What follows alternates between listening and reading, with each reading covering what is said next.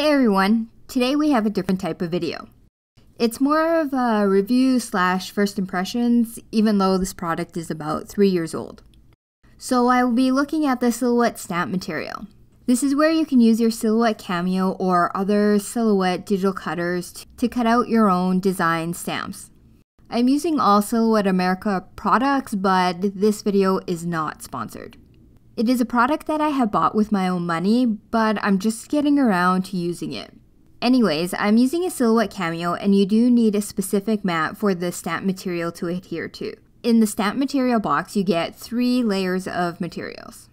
So I'm starting in the Silhouette design program, and I'm going to be testing out the stamp material using this butterfly. I got this butterfly when it was a free image. They have free weekly digital files you can get, and this happened to be one of them. I chose this image because layered stamps are more popular now, and I just wanted to see if I could create one at home. From here, I'm changing the mat size. Under the design page settings, you will need to change the cutting mat to stamp. It would change the mat to be 6 by 7.5 inches. Then on the same window, I'm going to change the page size to stamp as well. Now I have the right dimensions and I can just adjust the butterfly to fit the mat. So I'm dragging the image over to the mat. And then on the corner, I'm clicking on the square and adjusting to the size that I want.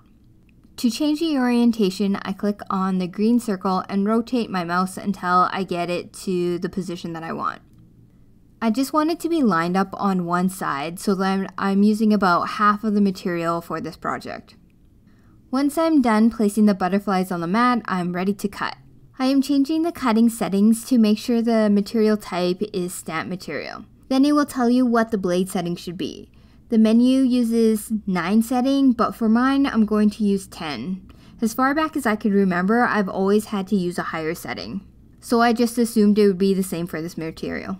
Then I hit the send to silhouette and wait for it to cut out. Altogether it takes about 10 minutes for the design and the cutting but it definitely would have taken longer if I needed to create one instead of using one from the Silhouette store. Moving over to my work table, I'm removing the butterfly from the mat. I'm not really taking too much care in weeding it, except for the antennas. Those are the smallest and weakest points on this design. But tearing the pieces out worked just fine. Some pieces weren't fully detached, but it was easy to fix with just a tug. Once they were all weeded, I mounted them on an acrylic block. Next up, the testing phase. If you're going to use a stamp material, this step is highly required. So I tested all the different types of inks that I have, which I encourage you to do as well. Just so you know, and a reminder to myself that it does say in the packaging that pigment inks work best with this material, but I still wanted to test out all the inks that I have. So these are the results. Hero Art Shadow Inks leave splotchy images. Before testing the stamp material, I did know that the stamp material needed specific ink, but I still wanted to test it out for myself. So I tried priming the stamp material with an eraser, which means just erasing the top layer. I've seen a few people use this method with clear stamps, so I thought I'd give it a try. And it really didn't change the outcome of the splotchiness. Next up, I'm testing chalk inks. This is ColorBox. And this too turned out to be splotchy. So I tried misting the stamp with a Ranger Mini Mister. That didn't help anything. The Studio Calico dye inks leave spots as well. This is the Brilliance in Galaxy Gold. I'm using black cardstock to see the image better. And I found that it gives better coverage when you stamp it evenly, which I did not. Next up, I am testing Stampin' Up's white pigment ink. This one is Whisper White. It seemed to work okay. I think the ink pad might be a bit dry, so that might have affected the stamping there. And then I'm testing out these small inks. They are Prima chalk inks.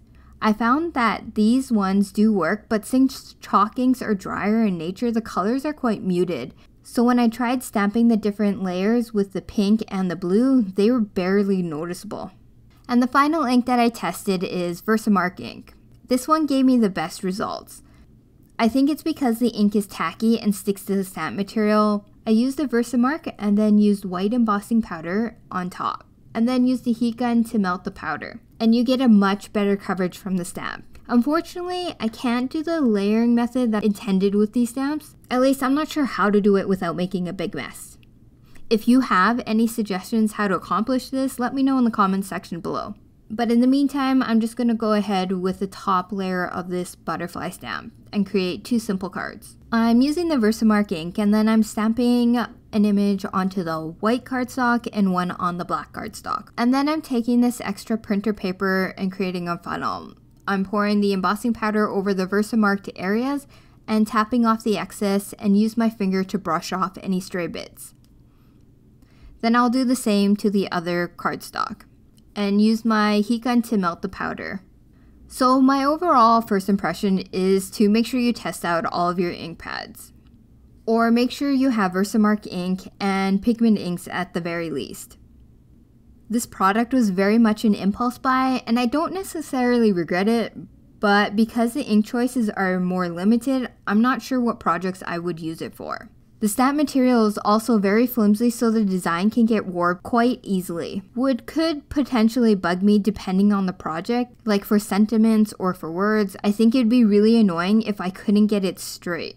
I do love the concept of the product, but I won't be purchasing any more replacements. I like that it was something small that I could add on after my initial large purchase of the Silhouette Cameo. Like I mentioned previously, I'm not sure what projects I could use this for because there are so many restrictions on it. At least restrictions if you want the image to turn out nicely. What are your thoughts on the stamp material? Let me know in the comments. Thanks for watching and good luck with your stamps.